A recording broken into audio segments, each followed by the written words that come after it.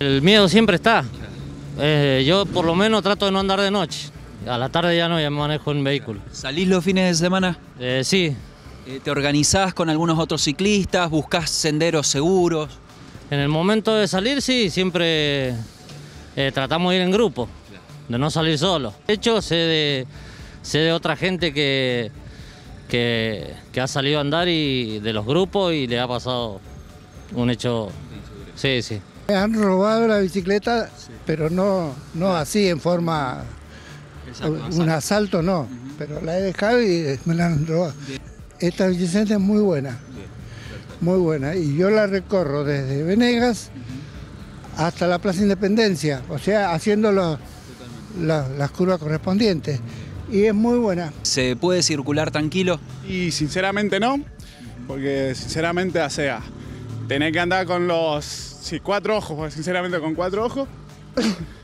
Eh, si lo más ejemplo, yo corro en mountain bike, salí con un grupito de tres, de cuatro, no anda solo, bueno, ahora vamos al trabajo, pero muy jodido. Fue un grupito que van a 200 metros, tr- tratá de ir juntito con ellos o más cerquita por cualquier cosa. ¿Te han pasado hechos de inseguridad?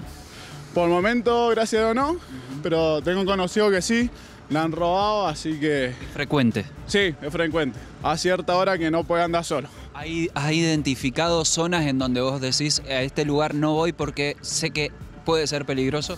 Y sí, lamentablemente sabemos dónde entrarnos, más que corremos, somos biker, sabemos a qué hora entrar, a qué hora no.